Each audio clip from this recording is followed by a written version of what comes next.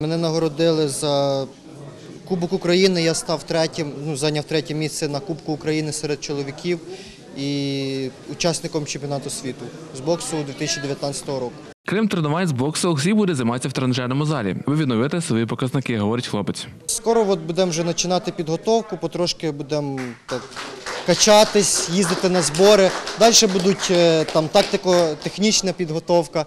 Наступний змагальний сезон розпочнеться з початку лютого 2020 року, каже президент Хмельницької обласної федерації з боксу Андрій Чемаков. Український календар е, відкривається в лютому місяці.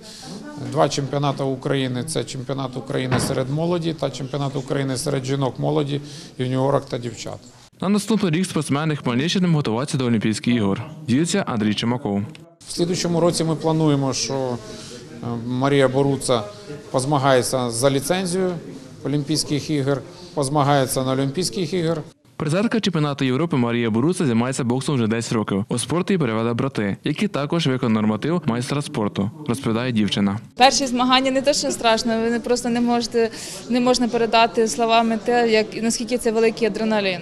Особливо, особливо коли тобі піднімають руку, ти вже думаєш, о, да, це я, це це круто. Так воно і себе чуть затягує.